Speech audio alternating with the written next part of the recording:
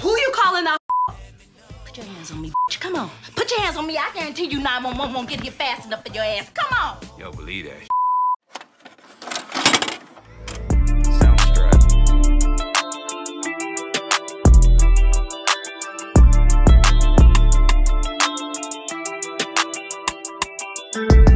The way this movie and the show that is based on used to have me in a chokehold back in the 90s. Listen, there was not a summer, holiday, or sick day that didn't consist of me watching the Jerry Springer show and all the other talk shows. And to further prove how much I love this show, tell me why I still have one Jerry guest ingrained in my memory. Let me present Exhibit A. Flashback. Her name was Brittany, and every time I saw that she was returning to the show, I walked home a little bit faster that day.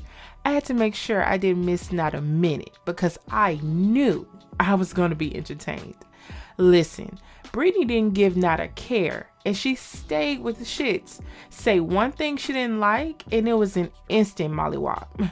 But this movie was my absolute fave because it was truly ridiculous. And of course, with age, I realized some trifling details about this movie. And you know we're going to talk about it and celebrate Jerry at the same damn time. So, let's get into it.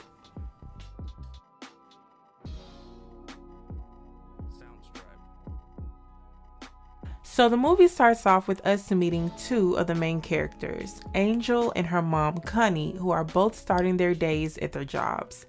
Angel works at a motel and Connie has a food truck.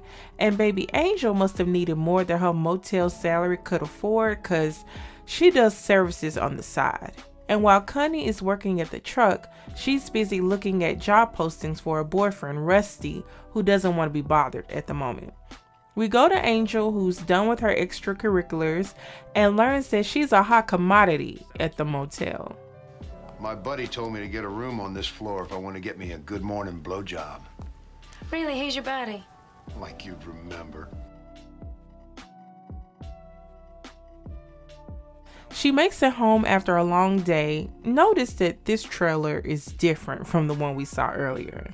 Mm-hmm. But anyway, she tells this to her boyfriend, Willie. So I was thinking, maybe we should just go on and do it. Why don't we just get married? Want to? Maybe. She said that like she was choosing what to pick up from the market for dinner. Just carefree as hell.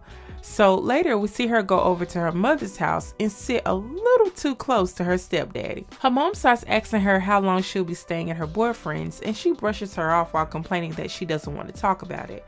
Not even three seconds after her mom leaves out the room, Angel and Rusty start making out. Talk about the disrespect and just plain nasty. Like, why would you want any man who's sleeping with your mother?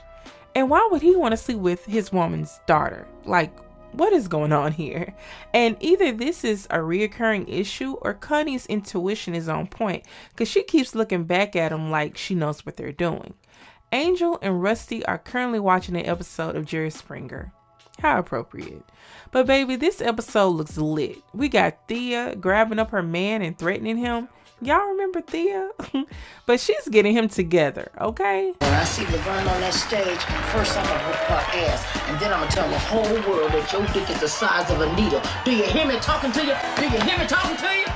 Baby Juanita, that was her character's name, by the way. She was ready to whoop some ass. They didn't even get to conversate, and she does what she said she was gonna do. Let me tell you something. This is the size of his dick, baby. I'm not talking about my nail. I'm talking about the pinky part. And it feels like he's poking me with a coffee stirrer. So the show goes off, and there's an ad of sorts at the end encouraging viewers to call in and submit their stepdaddy issues to be on the show. Child, how fitting.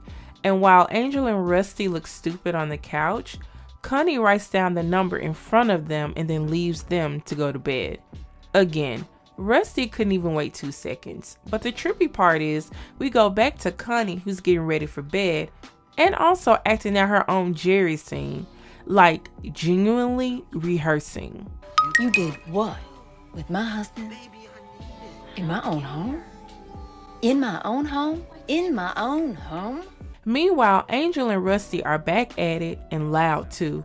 Connie is overhearing all of this, by the way, and not doing a damn thing. Baby, this is a mighty fine time to boil some grits, in my opinion. And then we get to meet another dysfunctional couple, Starletta and Damon. Starletta is currently outside Damon's bedroom listening to him have sex with her best friend Vonda while she's on the phone with Jerry's staff. Starletta is calling Vonda all kinds of bees and hoes, and Vonda wants to know what's up. Who you calling a hoe? Put your hands on me, bitch. Come on. Put your hands on me. I guarantee you 911 won't get here fast enough for your ass. Come on. Yo, believe that shit. Baby, I know this staff member was eating this drama up. Mind you, she was listening to all of this happen in real time. Starletta started going on about how she helped Vonda get tampons, but she couldn't get any for herself. She bought her shoes so she could have a nice pair to wear when they went out. Got her hair done. She had a bad weave. Honestly, Starletta was too nice to her, but despite that, she gives her a final warning. I'm gonna let you live this time. Do this shit again. They won't be able to find your ass. I guess it's safe to say that they are definitely getting on the show. then we go over to Jerry, who is simply trying to grab a bite to eat. He's got a waitress showing him pics of her daughter, a random guy coming up to him telling him that his show sucks, and these random women flashing him, and this girl who comes to him with her relationship problems, and his buddy simply wants to eat and chat in peace. Jared, and my boyfriend doesn't excuse me, me to Fiona, go. Jared, Jared, I gotta let.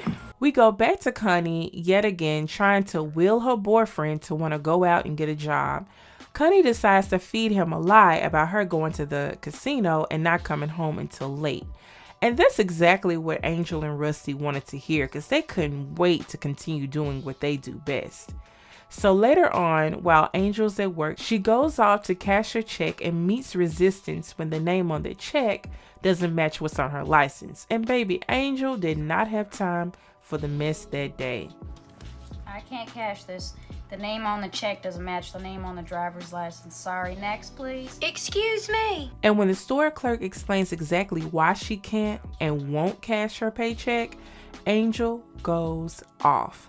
And I only have a 20 minute lunch break, so fuck your policy. Cash my paycheck. And won't cash your paycheck.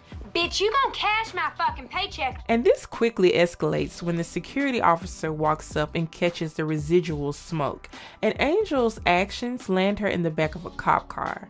We go back to Jerry, who's talking with his buddy, Mel, and Mel is letting him know about his new lawsuits, one of which is completely ridiculous. But for Jerry, a win is a win. No, no, but they want to come back and talk about it on your show I see. with their therapist, who's calling the disorder Jerry syndrome. I'm in disorder. I made the big time. Meanwhile, Rusty has bailed Angel out of jail with Connie's money. Child. He talking about she won't notice if she gets her bank statement. Like he has not a care in the world. Neither one of them do. You always take such good care of me. Baby, it's you and me, and we got the big bed. So of course, Angel and Rusty go home to again do what they do best. But this time, Connie has a little surprise for them. She comes home early, and you can just about guess what happens next. I knew it. Get your ass over here, you little whore. Turns out Angel and Rusty been carrying on since him and Connie started dating. And then she has the nerve to say this. Don't you hit him. I'm more of a woman him than he ever. Child, tell me why Connie decides that she wants to get her lick back. So her and her walk go over to Willie, Angel's boyfriend, and she tries to lay down some unwanted loving. Looking back on this scene, she literally took advantage of him. All out in the open, and for what? To get back at her traitor of a daughter and her bum of a husband? She should have kicked both of them out her house and kept it moving. Especially since after doing all that, Rusty and Angel were still doing what they'd always done. Yet and still, she goes on with the desperate antics. I didn't say you could wear my jacket.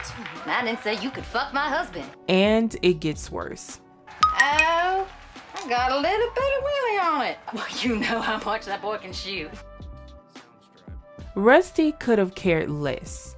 So the next day, Connie tells this whole story to a Jerry staff member in the hopes that she can secure a trip to LA and be on the Jerry Springer show, which ends up working because they get a call the next day telling them that they have been picked to be on the show. Meanwhile, Starletta and her friends, we're using that term loosely here, have also been invited on the show. Turns out Damon has been with LaShawn too. Child, he for everybody.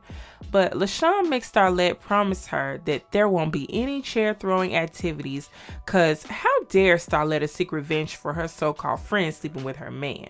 Alright, and we ain't gonna be ghetto. Ah, we gonna be real classy. The next day. Chilling on the plane, yo, we flying in the air. I don't even know, but I thought I was scared. Now she just said that they was gonna keep it classy. Just look at them. Not even five minutes later. Your ass wasn't so big, you wouldn't need all that fucking seat room.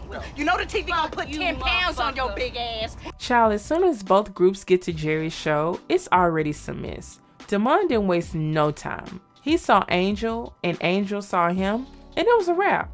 It was only a matter of time, and Starletta was on it. Hey, Linda Blair, spin your head around one more time, and I'm gonna give you exorcism. She really called that girl Linda Blair. Child. Anyway, Jerry comes out to greet them and thank them for willingly ruining their lives and reputations. As Jerry walks back to his office, Angel goes off to get his autograph and invade his personal space. Meanwhile, the other show guests are getting the rules of the show. Number one rule there will be no weapons whatsoever. Why they got to look at us and shit? And Connie senses that Angel is up to no good, so she ducks off to find her and notices she's in Jerry's office. And then she starts being weird.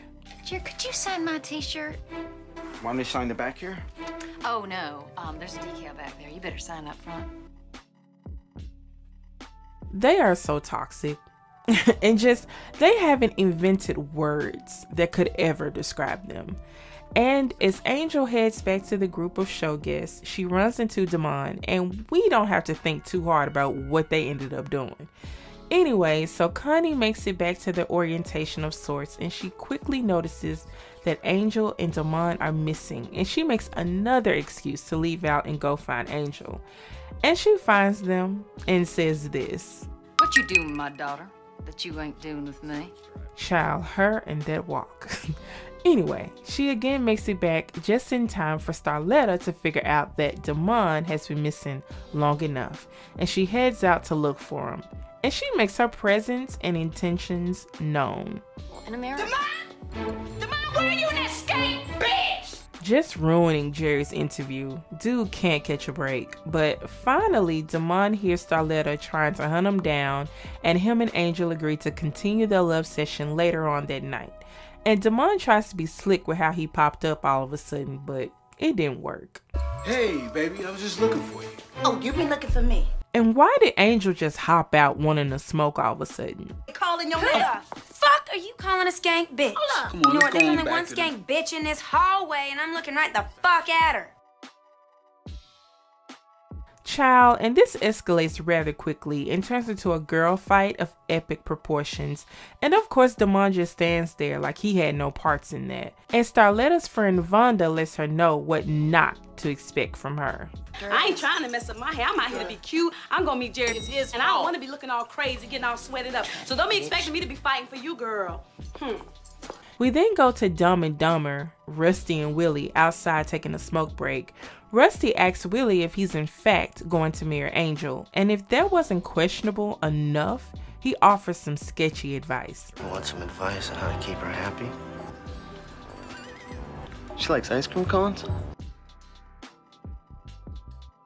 We then go to LaShawn and Vonda, who trap Jerry in an elevator, asking him questions that they already know the answers to. I done Damon, even though I knew he was with my good friend Starletta. That don't make me bad, do it? Well, maybe just a. They are a mess. How y'all comparing y'all level of wholeness, though? You always showing your ass. Can't you keep your clothes on and always calling me a slut? Who the slut? I ain't no slut. I just showed my. At least I keep my stuff in the house. Child, we go back to Willie and Rusty, and Rusty is having a damn breakdown about doing the show. Apparently, he doesn't want the whole world to know just how trifling he is. Really, just how trifling they all are, because they all need help at this point. Connie continues to try to guilt trip him by bringing up how he indeed slept with her daughter, and even offers him this dry ultimatum. You walk out of that show, you're walking out of this marriage. And our relationship. You are two peas in one fucked up pot. True, but he picked a mighty fine time to have some morals. Rusty tries to save Willie, and I don't even know why he even tried, because the girls swiftly manipulate him into staying. Willie, you don't want to do something so hurtful now, do you? After all I've done for you. Ew. So anyway, we go back to Connie and Angel who are discussing some disturbing details. Did he ever fuck with you first? Because we could soon. I was after him for a month to suck him off before he'd let me. What are you gonna sue him for? He don't got shit. They so tragic. They soon hear a knock on the door and get excited, but it was just Willie asking Angel to go to the Hollywood sign, but she wanted no parts. She can't stand him, but she wants to marry him. How did they even get together? Angel goes on to tell her mom that Rusty took her $500 to bail her out of jail. They hear another knock at the door, but this time it's a welcome visitor, and the antics begin again. Hey, I'm here to see Angel. Why do you want to see a girl when you can see a woman? And Connie is sulking. Damon and Angel swiftly get things started in her room that she shares with Willie. Angel don't give a damn. Meanwhile, Starletta is patrolling the motel halls trying to find Damon. She has to be exhausted. Girl, you in LA. There's so much to do. And you around here chasing after a man that don't want to be kept. Get it together. And clearly, LaShawn and Vonda are over her antics as well because they just ignore her. She eventually makes her way down to the hotel lobby to bother this guy, but he straight up ignores her too. Child, Willie finally makes his way back to the hotel while Angel and Damon are still having fun, and he catches them. Did you know that the Hollywood sign isn't lit up at night? We then go back to Connie, who is in the beginning stages of a breakdown slash midlife crisis. I don't know why I just said beginning stages, because baby, she is knee deep in a tragedy. Then we go back to Starletta, who is finally letting it sink in that maybe what her and Damon have ain't it. And her friends try to encourage her to go out and forget about him. It ends up working with limitations. One drink. We go back to Connie, who's made it to the hotel bar and immediately spots her a gentleman to swindle and offers this delusion. They flew me out here to be on a TV show. Really? You're an actress. The whole episode's about me. And Angel and Damon are done doing the do. Then this bop plays. He said, she said, you got a business all up in the streets. Cheating. Meanwhile, Willie's out drinking his sorrows away, and Connie's avoiding pertinent questions. What's the name of it? I told you I can't remember the name. What do you mean you can't remember? I... Girl, why do you even offer up that lie in the first place? She makes a run for it when she sees Damon trying to make his way back to his room to wash away his sins. And of course, Connie is laying it on strong, but Damon can read right through her desperation and he wants no parts. But then she says this Just lay next to me. And hold me. Maybe tell me I'm pretty. We ain't gotta have sex. Damon decides to do a good deed for her. Funny how he couldn't even do that with his actual girlfriend. How you out here giving charity to randoms though? Child. Willie finally makes it back to their room. Not a question about what happened earlier or nothing. And Connie and Damon are dancing down the hotel halls, and Vonda and LaShawn see them in action. See, Damon has lied so much that now that he's telling them the truth about not doing anything with Connie, they don't believe his ass. Later on, when the girls, along with Starletta, run into him, he got plenty excuses. It was a beautiful night, so I decided to take a walk. Mm-hmm. So I saw the sign that said all night Bible study. And Starletta is in her whatever you say era. That's right before the I could care less era. She's almost home free, y'all. But it's the next day, and Angel and Connie let the producers know that they have lost a stepdaddy for their I Slept with My Stepdaddy segment. So, as they are prepping for the show, baby Connie is gearing up for her Oscar nod. What did it feel like when you found out your little girl here was having a sexual relationship with your husband? It's the worst day of my life. Child, it's a mess. But Angel wasn't expecting her old faithful Willie to switch up. Y'all thought Rusty was a problem? They've officially pissed off the wrong one. I'm telling him everything. No, you are not. I am. So the show begins and the audience is ready. Oh, the memories, the feels. So Angel and Connie are in the first segment, and baby Connie is delivering her lines. You did what with my husband? In my Baby, all their tea is coming out, and they are finally starting to see how ridiculous they look and sound. Even Damon has to catch himself from slipping up because he's so entertained. And I know she, ain't. She, she ain't I know no you ain't vert. looking that hard. She ain't no vert. Go. But listen, shit hits the fan when the tea gets scalding hot. Apparently, the big secret is that Angel and Willie have never had sex, and she's currently pregnant with Rusty's baby. And this causes Connie to lay down her Oscar dreams and hop back to reality. And if things weren't headed straight for hell already, Willie delivers another blow. No, sick is coming to do your show in LA and to catch her having sex with him. Whoa! And baby Starletta just needed confirmation. Did you see the two of them having sex? No, wait, hey, hey, And just when things calm down, Vonda and LaShawn unleash their tea about Damon and Connie. And again, Starletta needed confirmation. Wait, hold up. Hold y'all sure? Yeah. Hold my shit. So as things calm down again, Willie confronts Angel, which she didn't care for, and baby Starletta runs up to defend her new friend. Just give her a chair next to them at this point. I bet this episode had super high ratings. And Starletta finally confronts Damon. What the hell was you thinking? What, you wanted a double scoop of skein? Was that it? I hope you wore six condoms. Better yet, did you wear a body condom? And then Angel decides to get in the mix when Starletta never really asks for her help. And then it just gets terribly awkward and just downright sad when Angel and Connie start to realize just how messed up they really are. They eventually go backstage and have a heart to heart.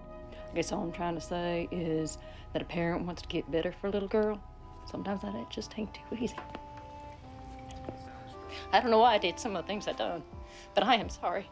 Now she doing all this apologizing, which she needs to do. But I sure hope Angel apologizes to her ass too, cause child, look, I'm over their ass. And then this lie. All things considered, Mama, I think you've done a real good job raising me. Thank you, sweetheart. As Jerry gears up to do his final thoughts, this guy decides to give him and his guests a hard time. All of you are the scum of the earth. Well, I got a program note for you, buddy.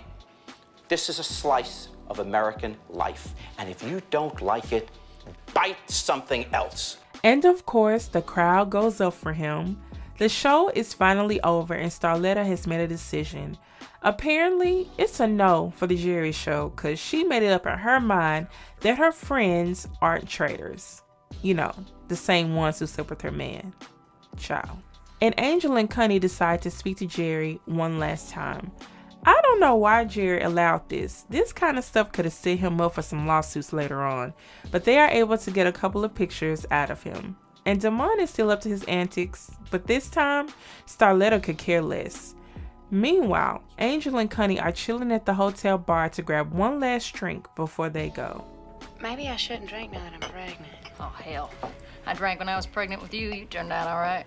Connie tells Angel that she shouldn't marry Willie and that her and the baby should just stay with her, like Willie wants her at this point. That man is traumatized and over it. And if you thought they had learned any lessons, child. Hey, you all my neighbors? Why, yeah. And that's the end of the movie. And here are my final thoughts. Angel and Connie have to be the most dysfunctional, toxic, and just plain tragic mother daughter duo that I have ever seen. You mean to tell me that the man you married was openly, because there wasn't anything secret about it, sleeping with your daughter, got her pregnant, and he made it all the way to LA, alive and breathing, to do a TV show so that y'all could tell the whole world the type of fuckery y'all got going on? What was going on in that household for one? Angel to think it's okay and normal to sleep with her stepdaddy, and two, for this to be a continuous thing. Y'all were in this sick competition with each other, and then Connie forcing herself on her daughter's man and any man that showed interest in her. Girl, what was the reason? Rusty was a bum ass dude, but at least he had enough sense to know that what they had going on was not for the world to see. And then Willie, child, this boy was truly lost in the sauce. He just let them do whatever, bring him to wherever. He had not a care in the world. You're with somebody, barely. You know she's sleeping with a stepdaddy, pregnant by him. And y'all are entertaining the thought of getting married? The hell? I'm so glad he snapped out of it and came back to himself at the show. He was being a total pushover for both Angel and Connie, but especially Angel. It was really funny at the end when they returned home from the show and dropped him off. His facial expression said it all. He didn't give not one damn because he didn't have to deal with them or their dysfunction anymore. As for Starletta and Damon, child, how are all your friends sleeping with your man and y'all still friends? And how is your man sleeping with all your friends and you still chasing after him? Girl, Damon had Starletta strutting down hallways, through hotels, through apartments to catch him in a lie. Damon had no respect for the relationship, her friendships, or himself for that matter, because really anybody could have gotten it. And I do mean anybody. And what I will never understand is how he showed so much grace towards Connie, and he never did that with Starletta. He gave her nothing but stress and drama, but took time out of his busy schedule to cater to Connie and make her feel good. Child, I am so glad Starletta stepped into the light and saw that Damon was nothing to chase after. But I wish that she would have dropped them friends of hers just the same, cause who's to say they won't jump on her new man when he comes along? I wouldn't trust none of their ass after all that. And another thing, they really could have left out the random Jerry scenes and just kept in the show parts because they serve no purpose. I love Jerry, but his sex scene was not needed, bro. Anyway, y'all, I can't believe he's gone. It's crazy how so many of the actors, legends, and others that we saw growing up are slowly making their exit or have already passed. And it's kind of sad to see that happen. Rest in peace to Jerry. You kept us entertained. But that's it, y'all. Thanks for watching per usual. And I will not be doing The Best Man due to it being under NBC Universal. They are always so difficult with the copyright claims, and they love to block my content without even reviewing it. And to be honest, I put in so much work on these videos, and I hate to get y'all excited and they taking them down. So I'm sorry about that. Please remember to like, comment, and subscribe. And I'll see y'all next time, you guys. Bye.